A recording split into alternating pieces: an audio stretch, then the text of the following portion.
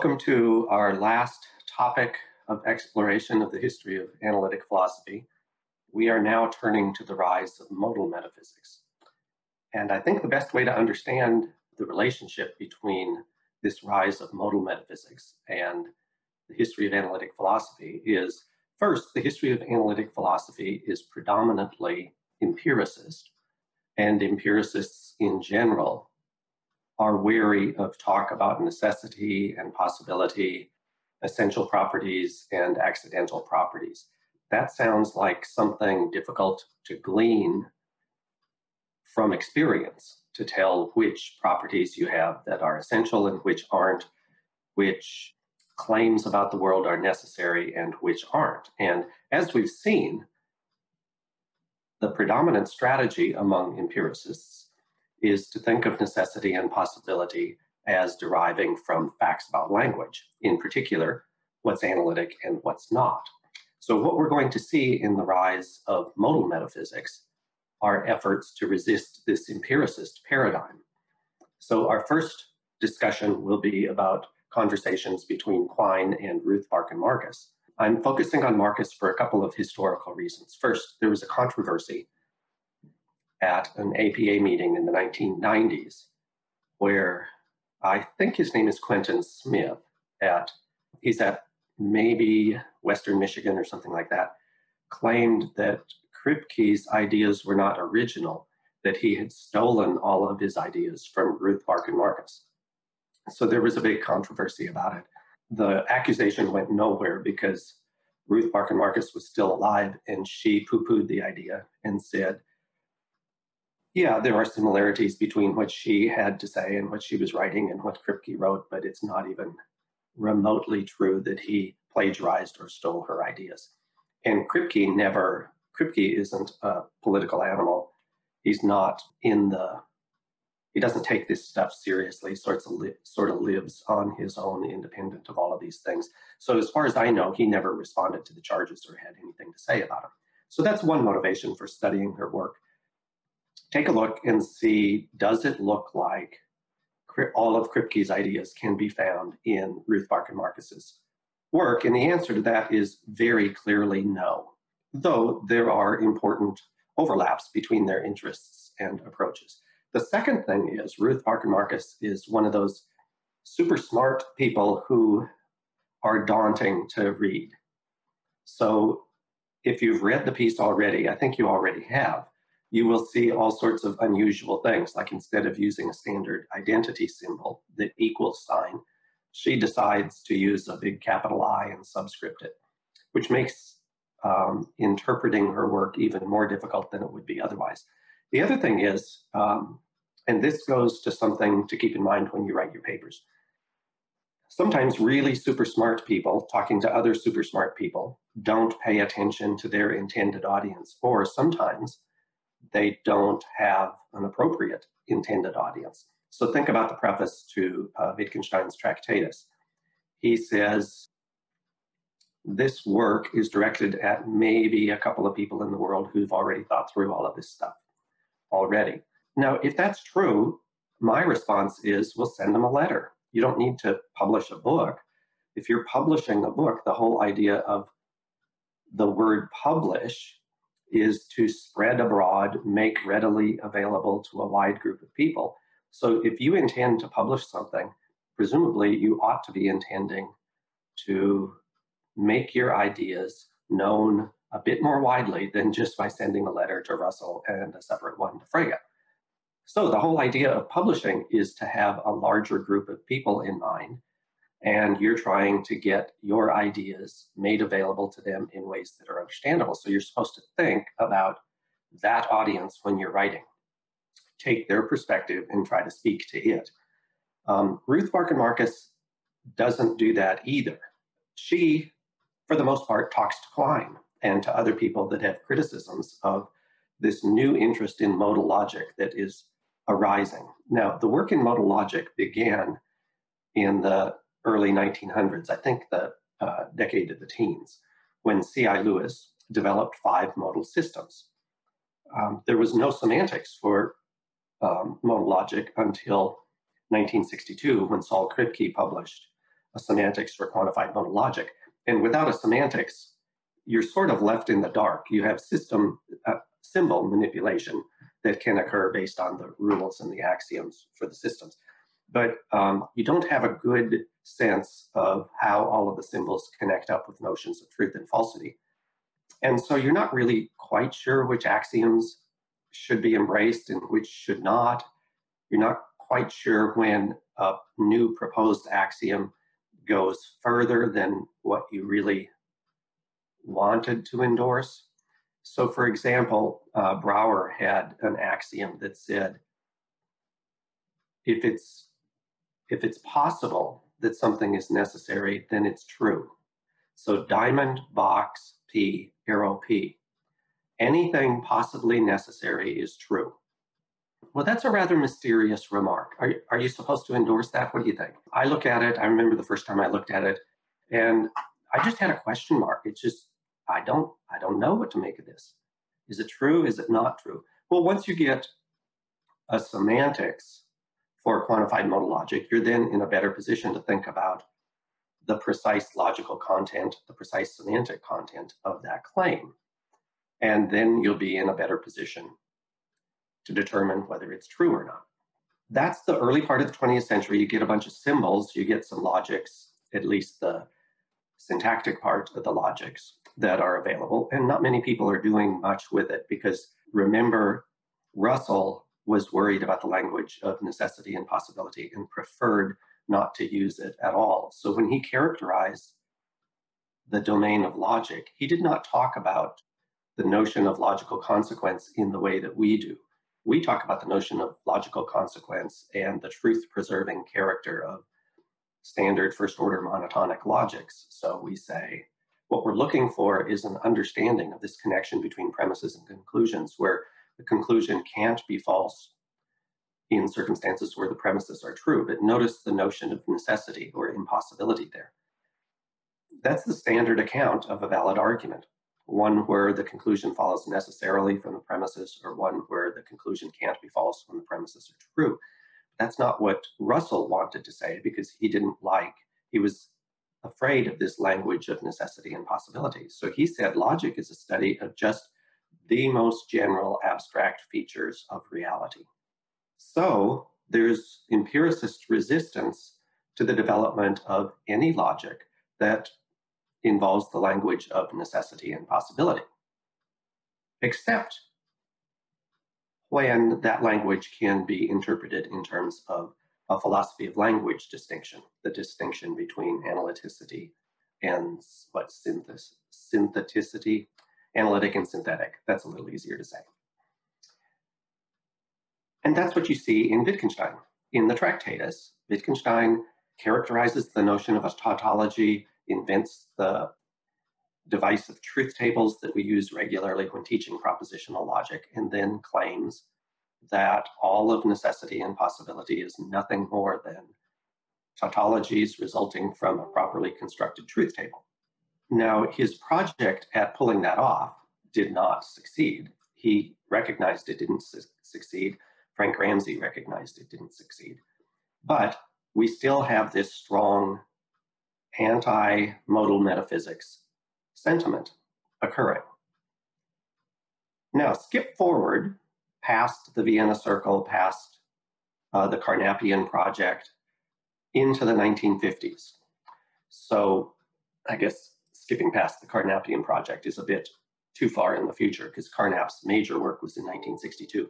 But Carnap's idea was we need probability theory to be the underlying mathematical structure for understanding confirmation because we need a logical and objective notion. And his approach to probability theory relied on things that look an awful lot like what led to talk about possible worlds. So he talked about state descriptions. So if you have a language, take all of the atomic formulas of the language, all of the simplest sentences of the language that you can have and arrange them in a table. The table is going to be really big because there's lots and lots and lots of the simplest sentences in a language. But if you arrange them in a table, suppose there are n number of atomic formulas for your language, then the table of all possible combinations of those formulas will be 2 to the n, 2 to the power of n, where n is the number of formulas, and we go 2 to the n because there are two truth values. So you have this really big table giving you all possible combinations of truth values for the atomic formulas. And each line on the truth table will be what Carnap called a state description. Now, a state description at first glance looks like just one way the world might have been. It might be that your car is red, and let's suppose that's one of the atomic formulas.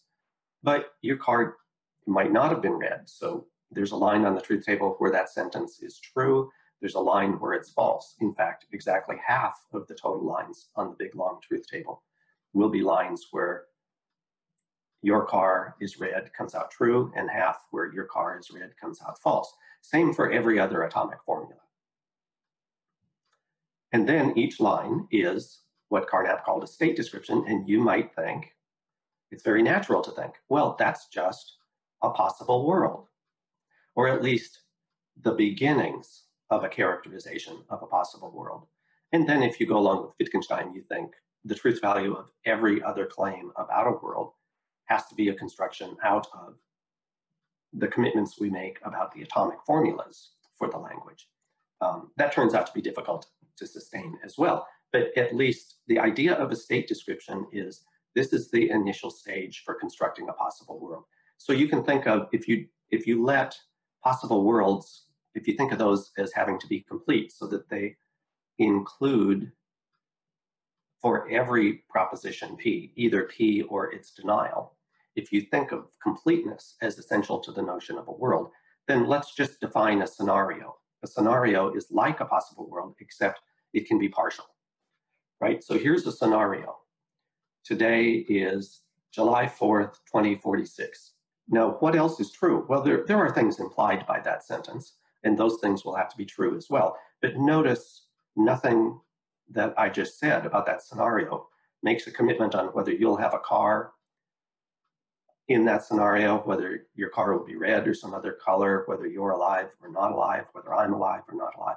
Lots of stuff is left out. So it's an incomplete scenario, but that's, let's just use that language, scenarios in that way. So state descriptions are scenarios. And you start with scenarios, and if you add enough stuff, you'll reach a point of completion, perhaps, and then you'll have a possible world. Okay, so Carnap is doing something that looks a little bit like possible world semantics although he doesn't talk about it that way because remember, state descriptions are completely syntactic units. They're characterized solely in terms of the grammar for the language. Possible worlds, on the other hand, are semantic in character. Kripke called them indices, but they don't even show up until you get to the semantic side of the logical system. And remember, the proof theory is on one hand, logic falls into two parts. The syntax is composed of the rules of grammar, telling you when you have a grammatical sentence and when you don't, plus the proof rules, how to derive some formulas from other rules. The semantics on the other side links up with meaning and truth in some way or another. So the Carnapian thing was all on the syntax side, and the Kripke stuff is all on the semantic side. Well, what happened to the Carnapian project the idea that you could think about modality and things like that, and even probability, ran into Nelson Goodman in the 1950s with the Grue-Bleen paradox. We're not going to talk about that because I think it's a small footnote. What it reveals is it's a small footnote in the history of analytic philosophy. At the time, it was huge because it completely undermined the Carnapian hope that you could get a purely syntactic notion, probabilities, that could function in a theory of confirmation. Okay, that, that turned out to be essential to his understanding of the objectivity of confirmation. And it led him down a path toward a more pragmatic conception of things. And we've already seen some of that in the paper that you read by Carnap. What else was happening in the 1950s was that Arthur Prior started working on temporal logics, where you had operators such as it will be the case, It used to be the case. It is now the case. Things like that. And there was a way of looking at these operators and linking them up with what C.I. Lewis was doing when he introduced modal logics back in the 19 teens. And that's you have some stronger operators and some weaker operators, and you can define one of the operators in terms of the other. So the box operator for necessity you can define as um, the dual of the diamond. So box means not diamond not. In English, that says if something is necessary, that's true if and only if it's not possible that it's not true. Notice that mirrors the dual rule for quantifiers in first order logic. For all x, fx says there is no instance, there's no example of an individual that lacks the property f. That's not existential quantifier, not fx. So those are dual rules, and it looked like temporal logics, or as Prior called them tense logics. First, they're tense logic sound like you have to be a little hyper when you do them. And uh, second, it's just, it's part of this, it's kind of funny when you think about it, but this is part of this idea that what's fundamental to everything is language. We're interested in the connections between mind, world, and language. Yes, we are. And if you are doing analytic philosophy, you are starting from the language circle and trying to do everything from there. And so if you can do logic about time, time is a feature of the world, maybe a feature of any possible world, but in any case, it's a feature of our world. So you're interested in logics having to do with time. And your very first thought is, well, that means we got to pay attention to tense because we have to start with language, not with the world. Okay, so these developments are occurring, and then that led people to think maybe there's something worth thinking about further in the logics that C.I. Lewis developed in the early part of the 20th century. And Ruth Barkan Marcus is one of the first to be thinking about this. Ruth spent her career at Yale University. She may have had small stints at other places, but she is associated most strongly with the Yale department.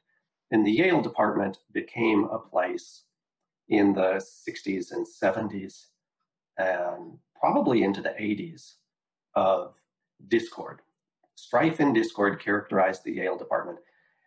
It used to be a really fine department, and then it disintegrated in the 60s, 70s, and 80s. Ceased being a very good philosophy department at all. It wasn't a good place to go to grad school. They've since recovered, and they're now a very fine department again, which is what you would expect. It's fitting for an institution the quality of Yale to have a very fine philosophy department. But in the background here is the Yale Harvard pairing. These are rival schools and rival philosophy departments. So Ruth is at Yale, Quine, Goodman, Putnam, other people are at Harvard, but Quine is the major figure.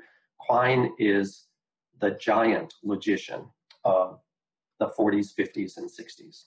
Well, at least through the 50s, probably into the 60s as well.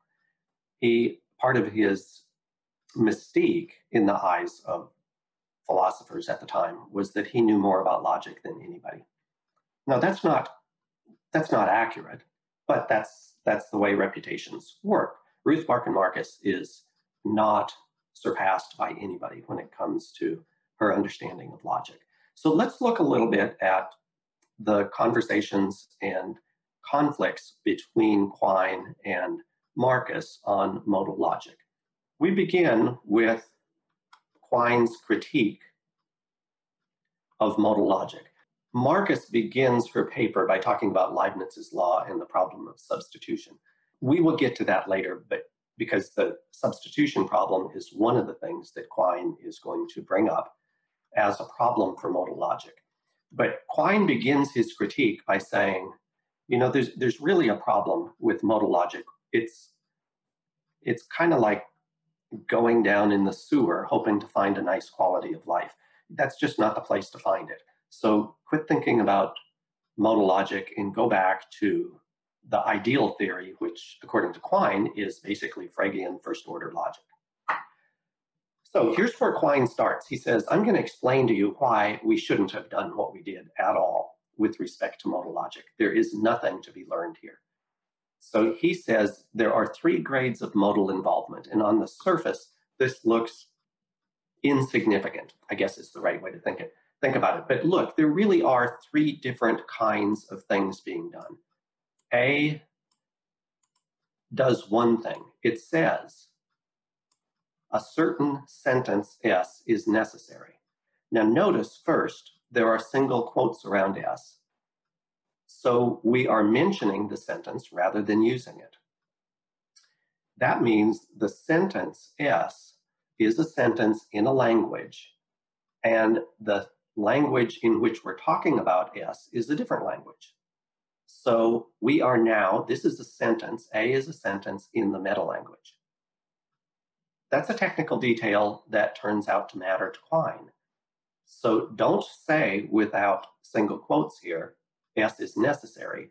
Just say, just mention the term, mention the sentence rather than using the sentence and ascribe to it the predicate is necessary. All right, so A is a metalinguistic sentence.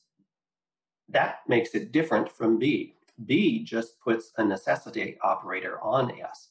So notice that will be a sentence in the very same language in which S is formulated. It is an object language sentence. So A is a meta language sentence about S. B is an object language sentence that has S as a component. Okay, now Quine says the first metalinguistic uh, formulation is completely acceptable. And he says the second one he can live with, but it's a mistake. Moving from A to B is a mistake made by C.I. Lewis. We'll get to that. That has to do with part one here about modal logic being conceived in sin. But notice both A and B are different than C. In this case, C attaches the box not to a sentence, but to part of a sentence. It says that X has a certain feature necessarily, namely being greater than 9. So here's the property, being greater than 9. That property is a property that X has in a necessary way. So just to understand the formalism carefully, if we put parentheses around x is greater than 9, we are not understanding the logical form of C properly. That would turn C into something that looked a little bit like B, where the box attaches to a formula. In this case, it would be a formula that has a free variable in it, which, which makes it be a little bit weird. But one way, a natural way to think about a free variable is it's got an implicit quantifier on it. That's not exactly right, but the important thing is C is not to be identified with the parentheses being in the way I just drew them. If you want to put parentheses, you will group the box with the variable. And this is predicating necessity of some property of x's. And that was the one that Quine thought just landed you in inconsistency and incoherence. So let's see why. So first, let's start with the difference between A and B. Quine says A is really the right way to talk. It got converted into B because modal logic was conceived in sin.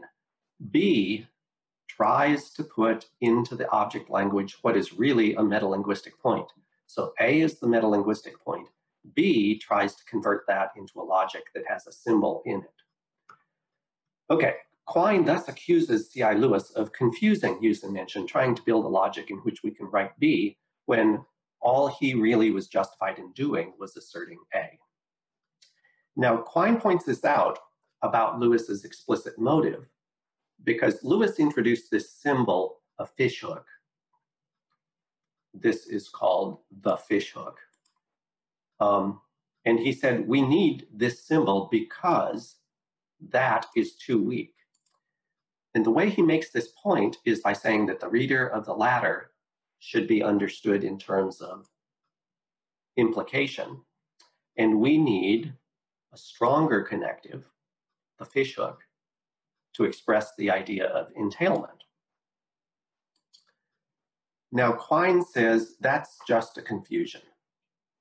The arrow, Quine says, is a sentence forming connective in the object language, while the word implies is a two place relation in the meta language.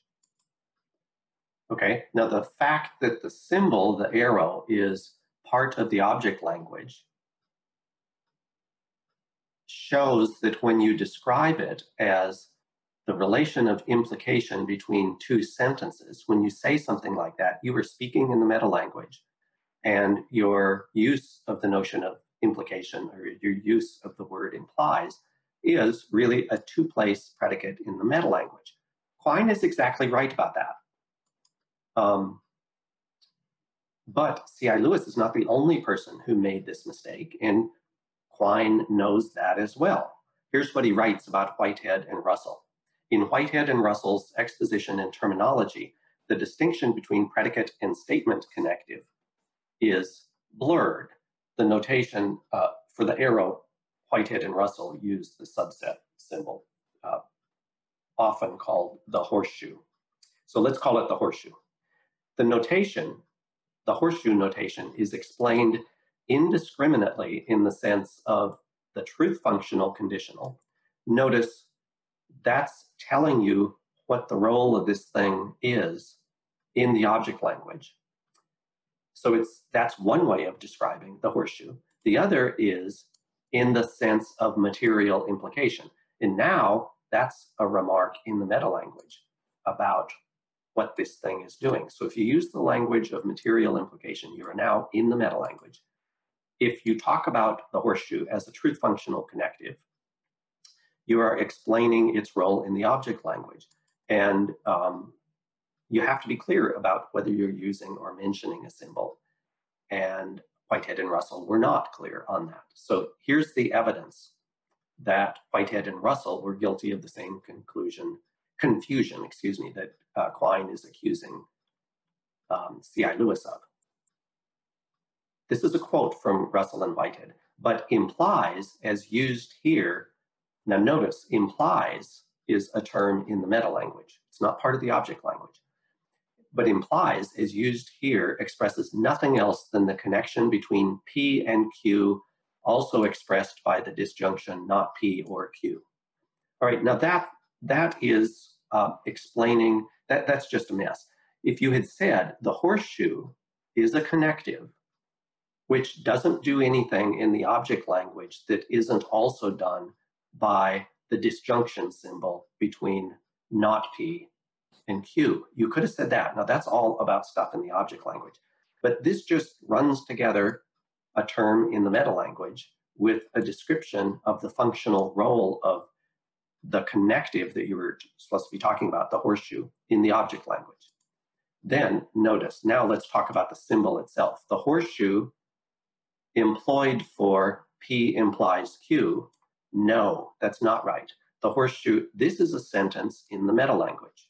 It is not a sentence in the object language. The symbol employed in the P horseshoe Q formula is just functionally equivalent to not P or Q. And those two are the same. Okay, so keep clear when you're talking about the object language, when you're talking about the functional equivalence in the object language, and when you're making a remark in the meta language. So notice this sentence is guilty of use mention confusions because P and Q are sentences in the object language. So this is not a well-formed formula. It is guilty all by itself of a use mention confusion. If you want to write this out in the meta language, you can, but what you have to do is put P in quotes and say P implies, this is so ugly writing, isn't it? I feel like I'm in kindergarten. P implies Q. That formulation, and then if you want to talk about that sentence in the meta language, you put it in either single or double quotes, depending on which um, device you rely on for using rather than mentioning. Okay, so um, that's all fine. And you can think this looks awfully anal retentive, but Quine is exactly right about all of that. Uh, C.I. Lewis confuses use and mention and says things that are technically incorrect. So did Russell and Whitehead. But notice Quine's not going to look at Russell and Whitehead and say, so all of first order theory has to be thrown out the window because Quine made, I mean, Whitehead and Russell made uh, a glaring mistake. Well, first, it's not glaring. It's rather difficult to see and explain, but you don't throw out the logic because of that. So here's how it shows up in Lewis. We've seen how it shows up in Whitehead and Russell. But Lewis argued that the relation of material implication is too weak to characterize the relation of logical implication or entailment, and used that fact to argue for the introduction of a stronger connective. But this argument is confused, since the right thing for Whitehead and Russell to have said was that horseshoe is a connective in the object language, not a relation characterizable in the meta language by talk of material implication between the same things. You can't say anything in the meta language without mentioning the formulas in the object language rather than using them. Fixing Whitehead and Russell in the way Quine is recommending eliminates Lewis's argument for introducing a stronger connective. Now, here's the takeaway from this. This is all fine and good. Quine is right, there is a confusion, but just don't even give the explanation Lewis gave. Just say, I'm going to introduce a new connective. The new connective is going to be a fishhook. I'm going to define the fishhook in terms of this new device, a box. So we already have an object language that has P horseshoe Q in it, and I'm going to introduce an operator. The operator functions on these sentences so that if you can box the horseshoe, you can drop the box, drop the horseshoe, and replace it with a fishhook. That is, the fishhook formula abbreviates the latter. And then you're going to give various rules for how this box works syntactically. You do that in precisely the same way that you do when you introduce any new symbols into your object language. So when you started your first order logic, the first thing you did was introduce sentence letters. P, Q, R, S, whatever.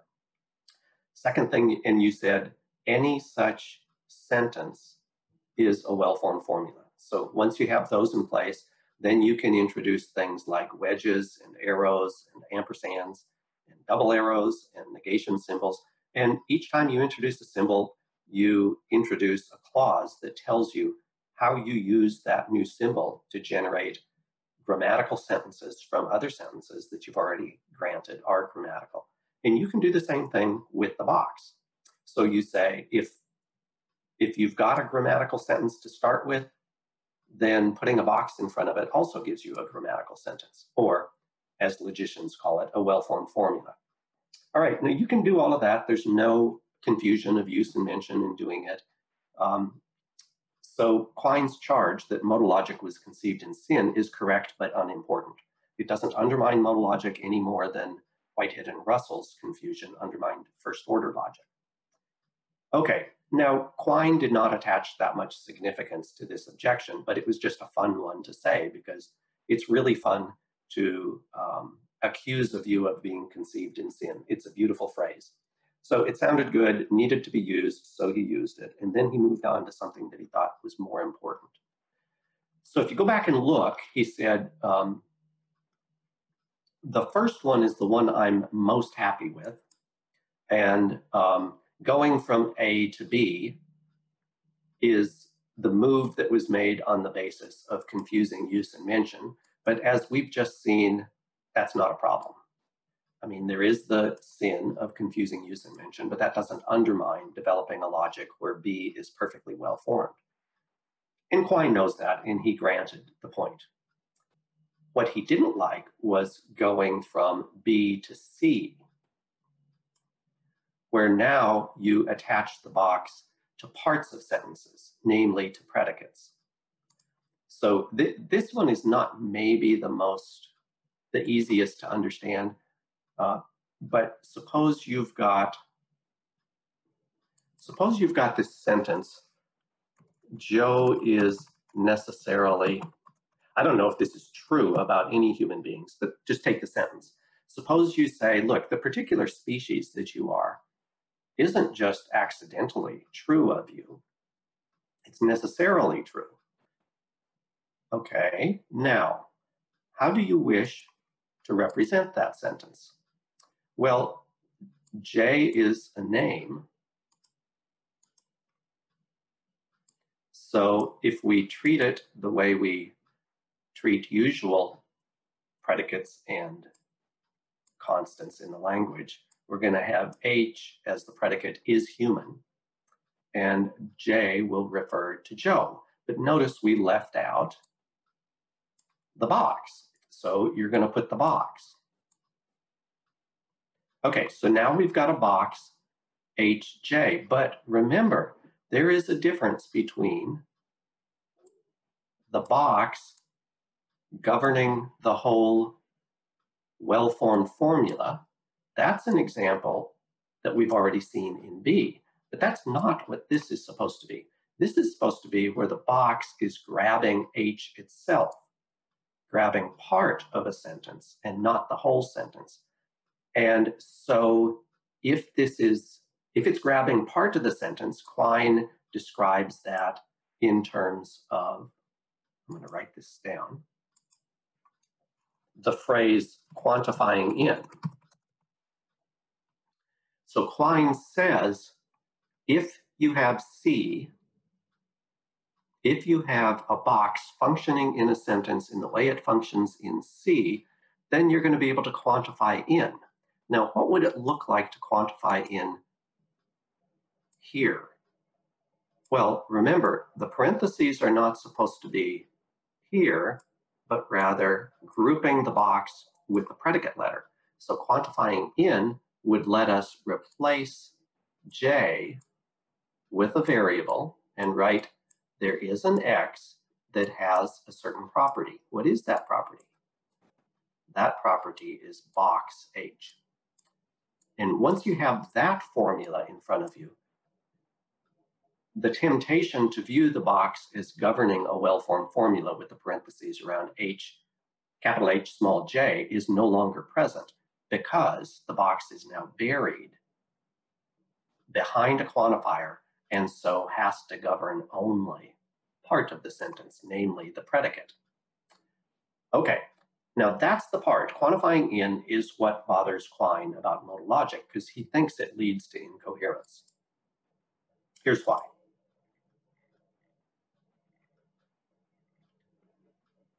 He's worried that this puts, as he says, it puts necessity in things rather than in words. So if you if you think Joe is necessarily human, then you've put necessity into Joe and his humanity, not just in the words that we use to describe Joe. Right now, the way to think about that is is necessity in the world, or does it derive from something like analyticity, a philosophy of language distinction? Quine is firmly committed to the standard empiricist line that necessity follows analyticity. And that's the only understanding of necessity that we can have that makes any sense at all. Okay, now what's the argument? Here's his example. Let S be a human cyclist, human cyclist. Let it be Carl Craver, for example. He's both human and a cyclist. Humans are essentially rational and cyclists are essentially bipedal. Now, I'm going to stop there because neither of those claims uh, is likely to withstand scrutiny. Uh, take the thing about cyclists. I want you to grant the point, um, but um, know that there are problems here. Um, one of the things, if you if you're a really good cyclist and you hire a coach to prepare you for Olympic cycling events, one of the things they're worried about is how circular your pedaling motion is. And so what they do to get you to pedal uh, more evenly around the entire circle that the pedal travels is they remove one of the pedals and make you ride around just pedaling with one foot. Well, presumably you could do that if you had been born uh, without one of your legs or if you'd lost one of your legs in a war or something like that. So to say that cyclists are essentially bipedal is pretty clearly false. You can be a cyclist without two feet. Um, how about humans being essentially rational? Uh, well, this is murky because who knows what the rationality function is, but just think about birth defects and the ways in which some infants sadly are born with no mental capacities at all and they will never develop any. Are they human? That's hard to deny. And they're clearly not rational. So maybe humans aren't essentially rational either. So maybe both of these claims are false. But you can get a good sense of what Quine's worried about by just granting the point. So humans are essentially rational, cyclists are essentially bipedal. Let that claim go. They're not really true, but they're close to being true, or closer than denying it, and certainly closer than the next set of sentences. Humans are not essentially bipedal. The rationality claim has much more going for it than the bipedal claim has going for it when you're talking about human beings. That's his point. And cyclists are not essentially rational by the same assumption, right? If you think about a cyclist, you're much closer to the notion of being bipedal than you are being rational. So think about being at a circus where you see a bear riding a bicycle. Much closer to needing two feet than needing to be rational, because I hear bears aren't rational. In any case, grant both of these claims, even though all of these claims, the, the non essential claims are clearly true. Uh, the claims about what's essential are not true, but you're closer to these points than you are. You're closer to being right when you say humans are essentially rational than you would be if you said humans are essentially bipedal. So let's just go with the exaggerated claims. And here's what Quine concludes. S is both essentially rational and not essentially rational, and both essentially bipedal and not essentially bipedal, since S is a human cyclist. That's a contradiction, he says. So necessity ride, resides in words, not in things.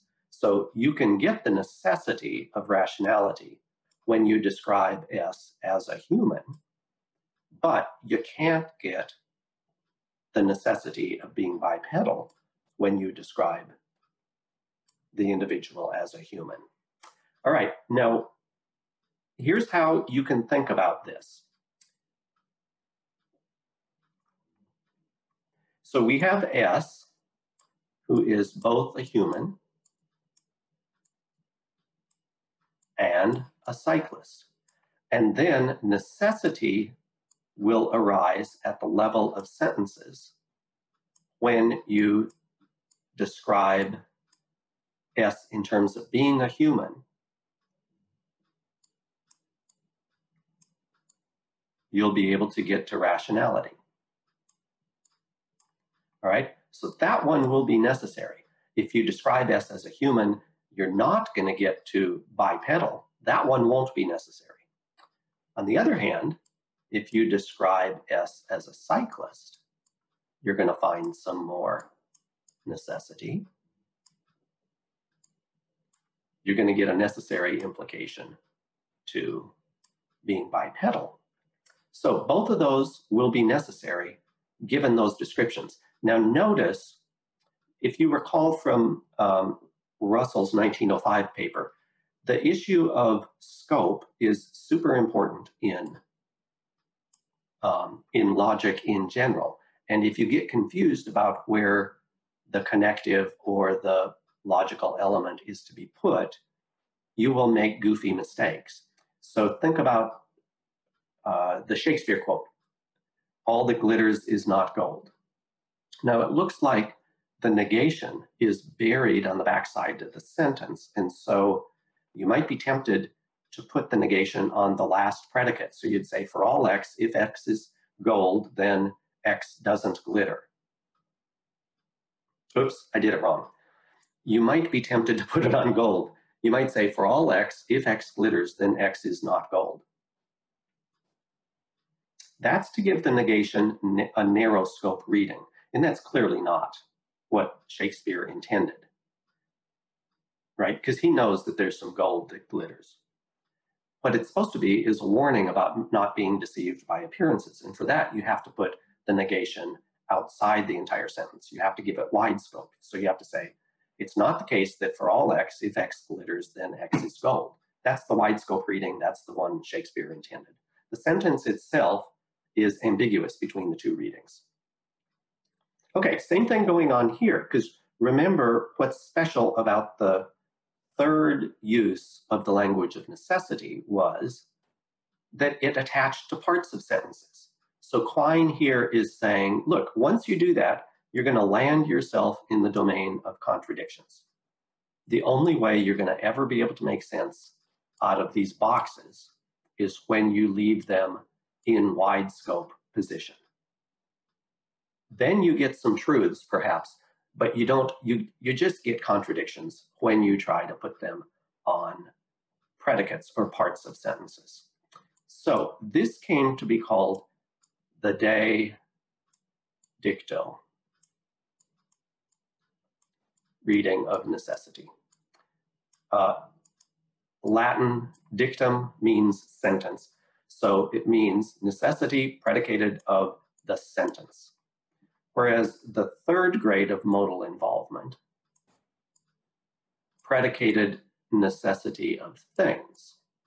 So if you have the operator on just a part of a sentence, that came to be called the de re reading. Now, um, the discussion of de re versus de dicto became much more complicated than that. But for right now, we're just going to treat the distinction as a scope distinction a scope distinction about where the box uh, and the diamond similarly, whether the box has wide scope or narrow scope. So we're going to treat it just as a scope distinction here. And what I want you to see is this is an example of one of the most famous fallacies in the history of thinking about modal logic. So um, look at the sentence. Now, suppose um, suppose we try to, I mean, we're really supposed to be thinking about de re modality, and we're supposed to get a contradiction when we think about that. So let me pull up the pull up the annotator again.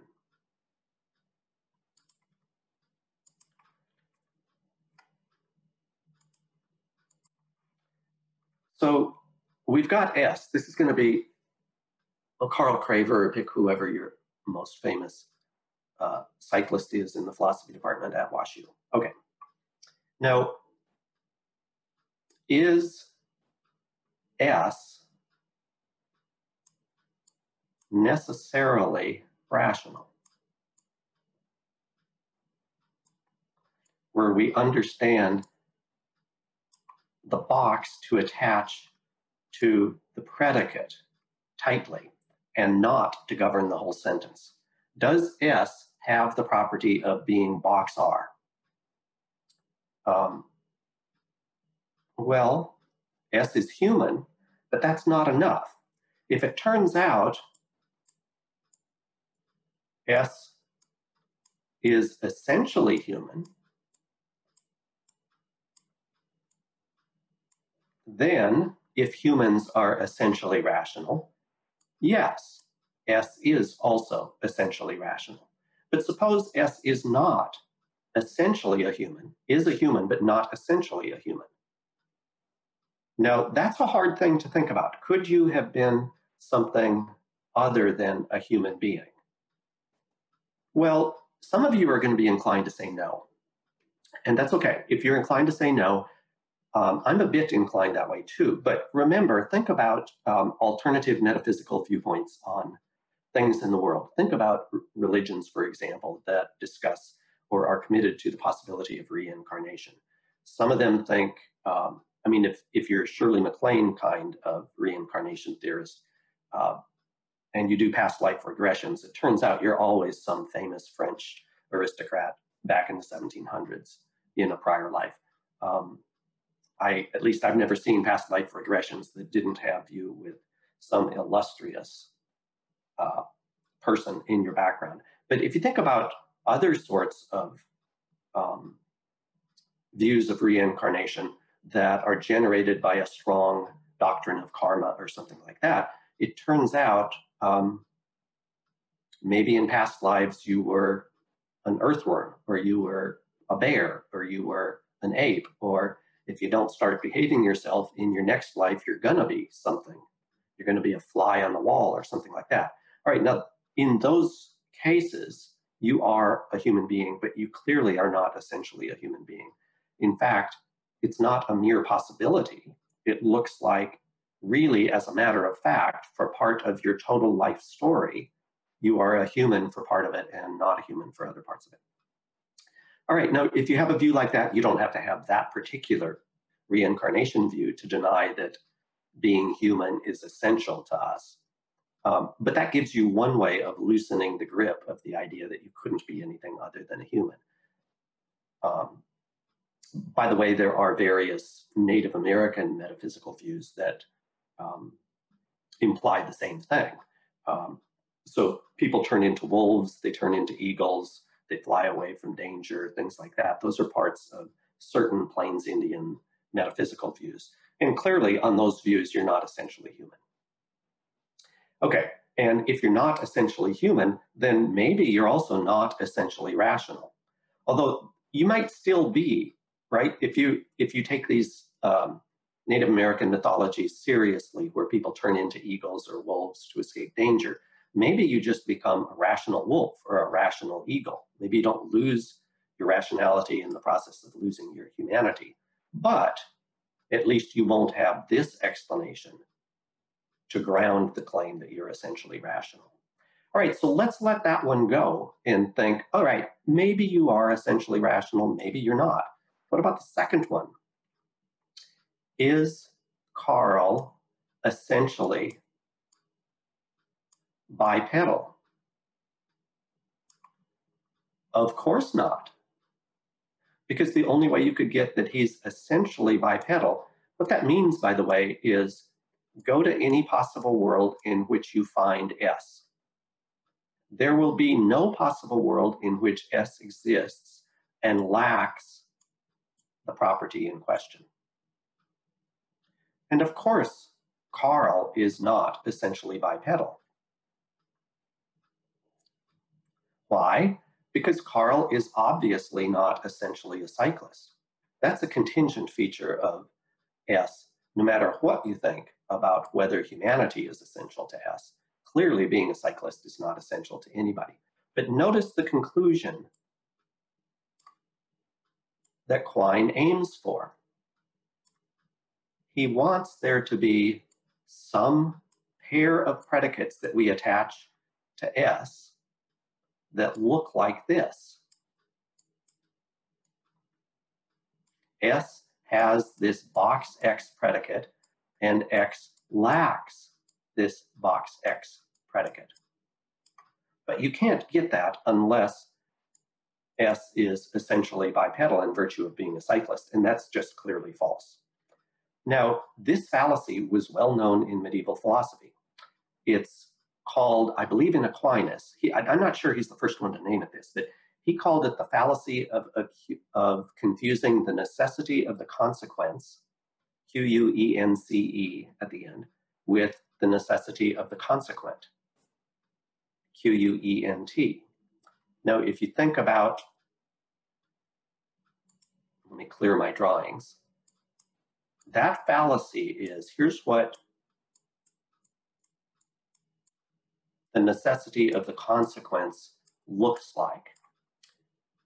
The box governs a formula which is an arrow formula and expresses a consequence relation between x and y. That's the necessity of the consequence. What would the necessity of the consequent look like? Well, that's where the box is placed on the consequent of the conditional. So if you say Carl is necessarily rational, maybe what you're saying is the necessity of the consequent. If you're Carl, then you are essentially rational. That's this reading. Or you might say it's a necessary truth that if you're Carl, then you're rational. Or if you wish, let's use humans. You may say it's a necessary truth that if you're human, then you're rational. Or you might say if you're human, then you're essentially rational. In order to get the contradiction that Quine is after, you have to read everything in the de re reading or the necessity of the consequent reading. So this is a well-known fallacy in medieval philosophy, metaphysics, and logic, um, and isn't wasn't generally recognized by a group of group of people that viewed medieval philosophy as uh, just a bunch of people doing philosophical theology that wasn't any of any interest to people anymore. Okay, so Quine has a worry, but it's a completely misplaced worry. So that's his second one. Um, third complaint that uh, Marcus talks about from Quine is that Quine thinks contingent identity is going to have to be disallowed if you're going to do modal metaphysics. Now, I'm going to show you, when we turn to Kripke, I'll show you why he's worried about this, because there's a very simple proof that identity can't be contingent that Kripke gives us. But Kripke didn't invent this um, argument. He was, it's not original with him. It was well known. Ruth Barcan Marcus knew about it. So suppose you think this is true. X is identical with Y if and only if necessarily X is identical with Y. Quine says, oh, that's just, that's really bad. You're just purifying the universe. So here's some examples of contingent identities.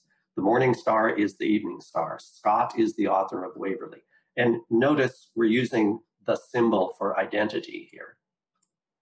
And um, Marcus says, I don't think either of these strictly count as identity statements which of course is what you should say if you're already committed to the um, necessity of identity.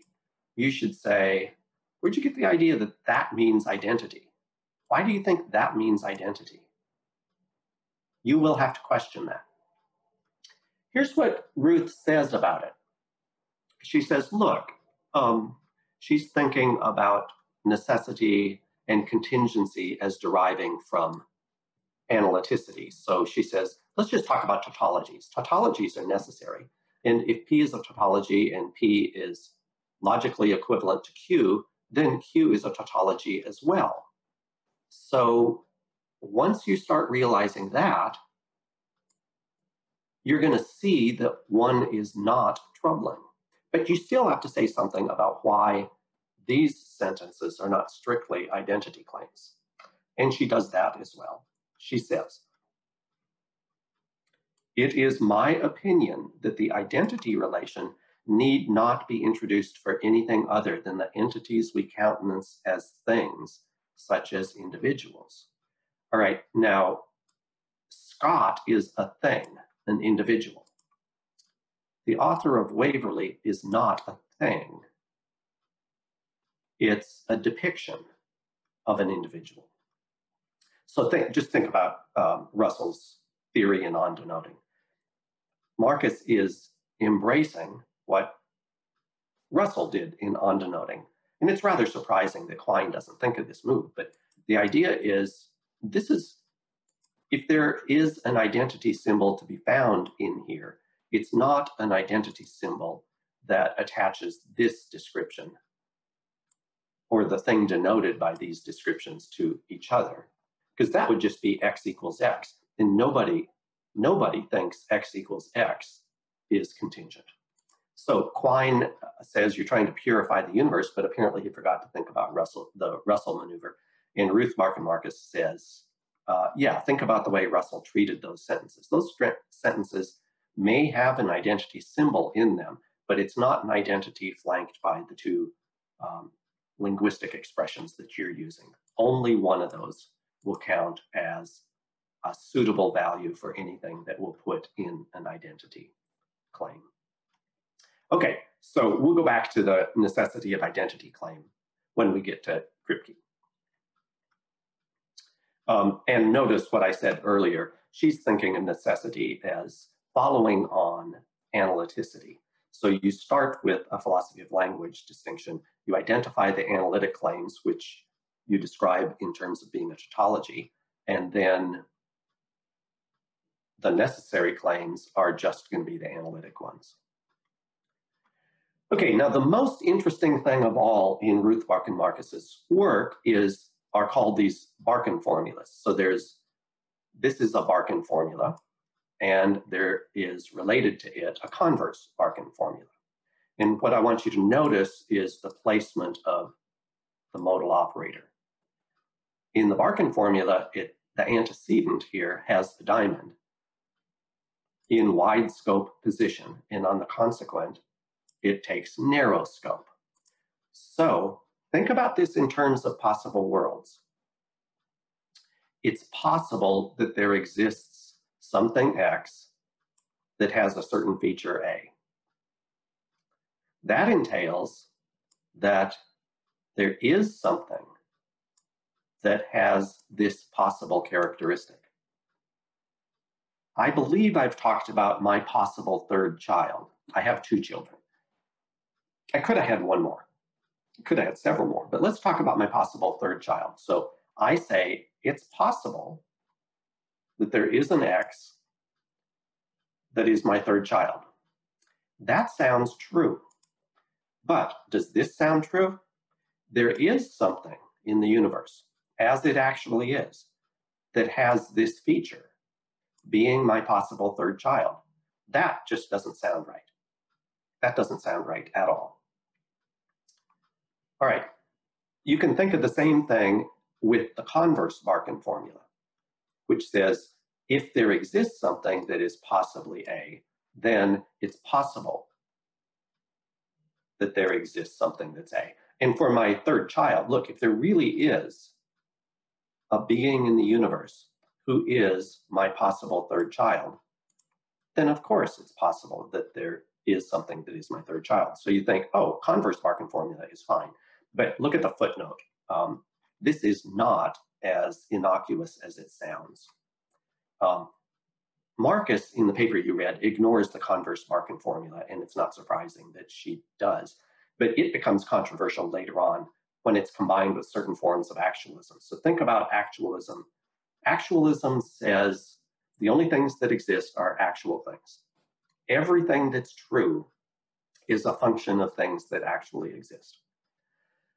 Okay, so think of three views here. Actualism is something about um, other possible worlds not existing. Only this world really exists. That's like presentism in the philosophy of time. Presentism in the philosophy of time says the only time that is strictly real, really, truly real, is the present time. The future is not yet. The past is already gone. All we have is the present. So call that presentism. And now compare actualism and presentism with the spatial analog. The spatial analog of presentism would say the only point, spatial point that's real is here. Other spatial points do not have the same reality as here. So there is not really real only here is real. Now, I expect nobody you've ever met is a defender of hereism. It doesn't sound plausible at all. Here is just one among many spatial points, all of which are equally real. But presentism is not as absurd as hereism.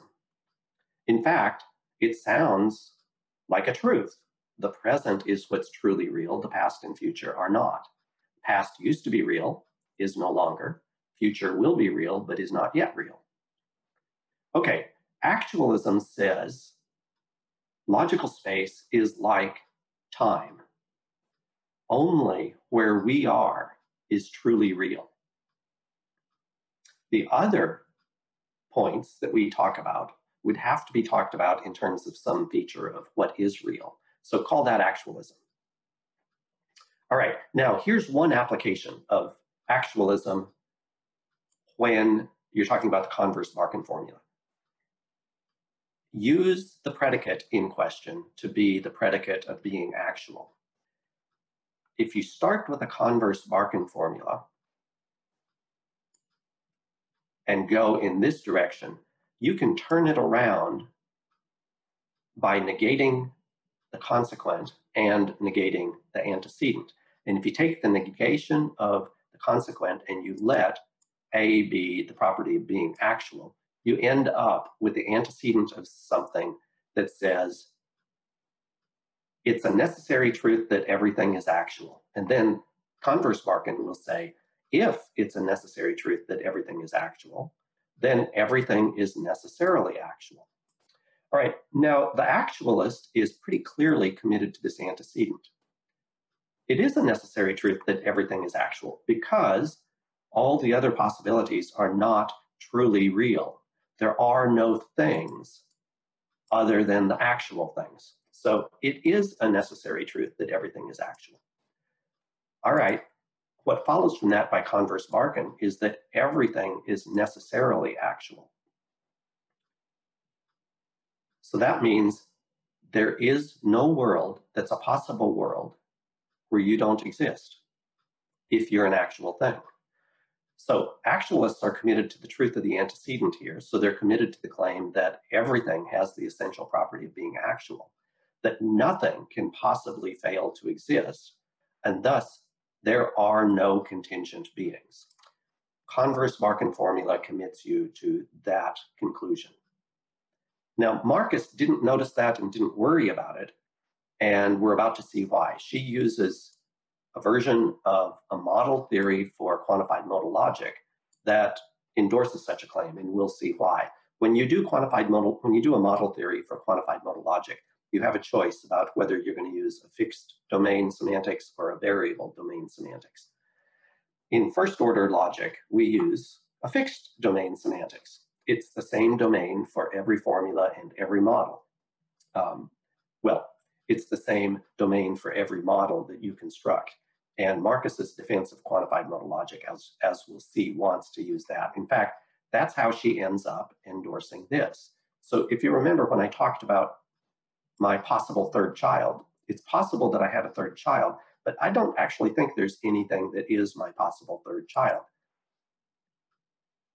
I reject the Barcan formula, and I think you should too, and here's why. You look at the things that exist in the actual world, and you say, well, there's a possibility left open by the nature of reality, and that's that I have a possible third child. So the actual world is not a world that realizes that possibility.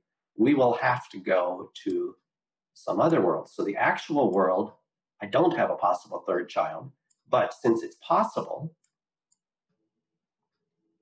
there has to be some other world that realizes that possibility.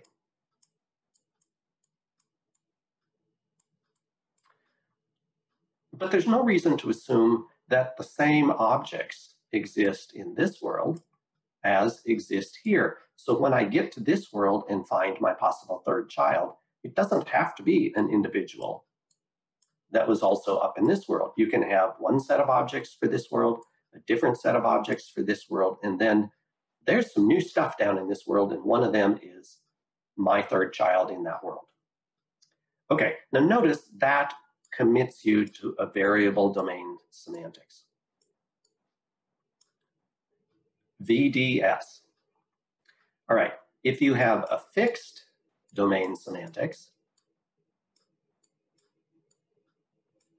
then if there is a possibility claim in this world, and I don't have a third child in this world, I have to go to another world where I find a possible third child, but that individual who is my third child in that world will also have to be up in this world because the domain doesn't vary between worlds.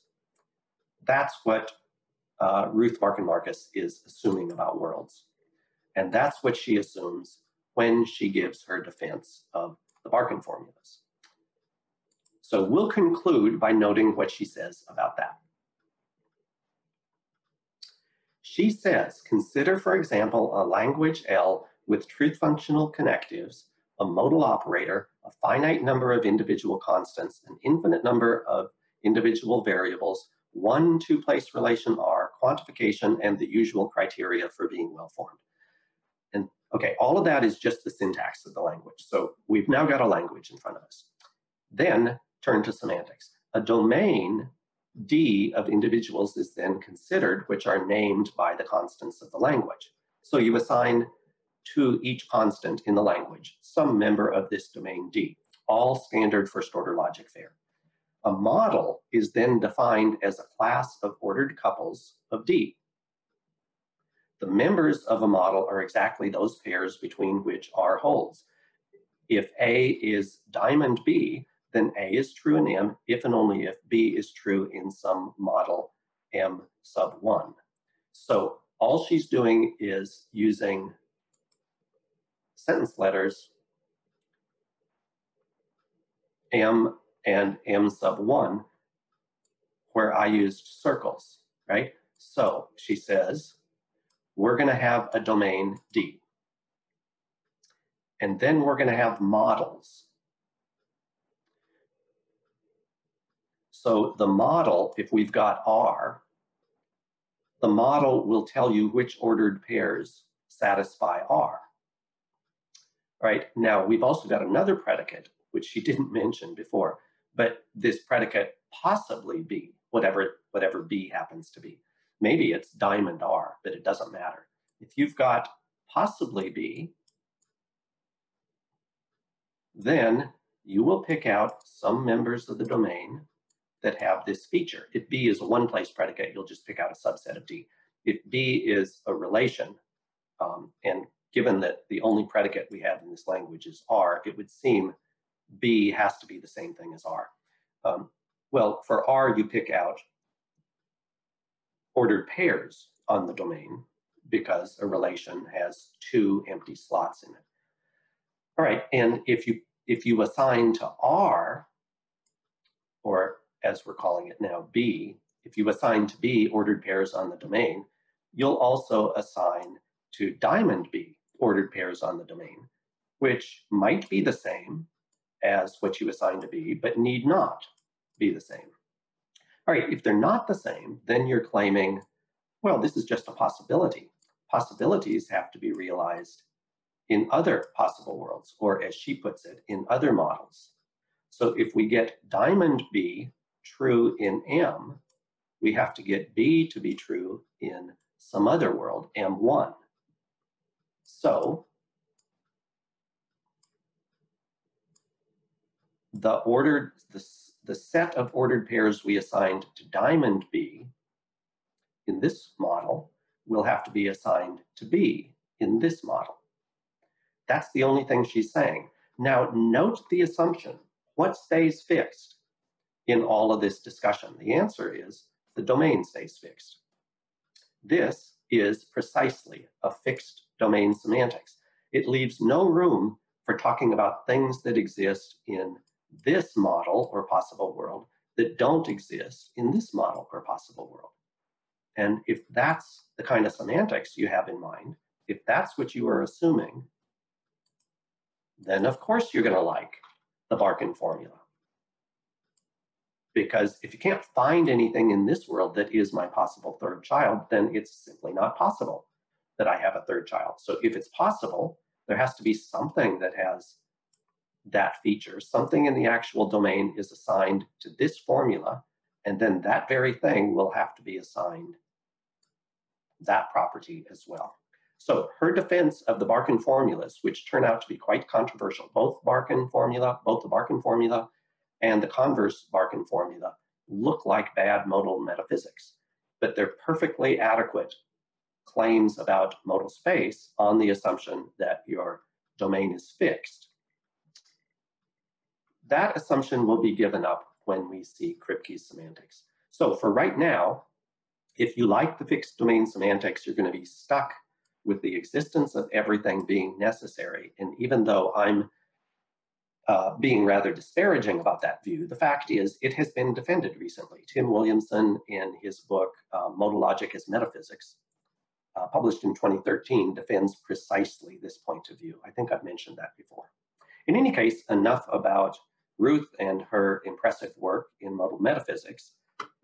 The real culmination of the end of analytic philosophy together with the rise of modal metaphysics occurs in Kripke, both in his publishing of the semantics for quantified modal logic in 1962, but most importantly, his lectures that we're going to talk about, read and talk about in the next lecture.